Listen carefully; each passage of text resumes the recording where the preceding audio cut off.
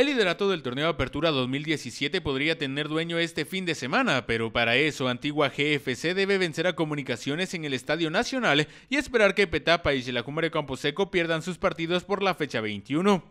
El cuadro Panza Verde visita a Comunicaciones sin margen de error. Cualquier resultado adverso lo dejaría expuesto. Los cremas están a cuatro puntos de los aguacateros y un triunfo los pondría en la pelea por el liderato, pero una derrota hasta los puede sacar de la clasificación. El partido entre Albos y Coloniales será este sábado a las 18 horas. El domingo, el sublíder Petapa se juega la posibilidad de clasificar directo a semifinales en el Estadio Municipal de Sanarate, mientras el cuadro local debe ganar para seguir en la pelea por un puesto entre los primeros seis.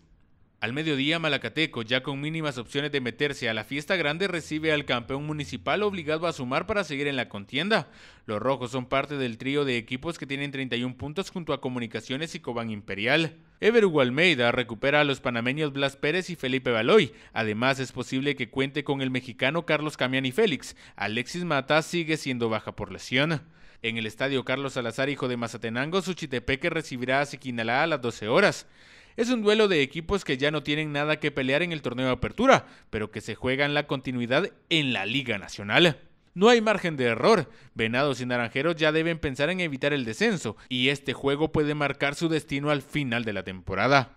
A las 14 horas, en el estadio Verapaz, Cobán Imperial recibe a Marquense. Los Príncipes Azules con la obligación de ganar para mantenerse en zona de clasificación, y los Leones con la necesidad de los puntos para salir del sótano de la tabla en un torneo para el olvido y la fecha se cierra a las 18 horas en el Estadio Mario Camposeco, en donde Xelajú y Deportivo Guastatoya prometen un partido de altura. Los Chivos son terceros con 34 puntos y ganar les permitiría mantenerse en los puestos privilegiados.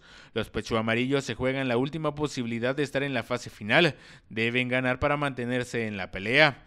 Es la penúltima fecha y las cartas están sobre la cancha.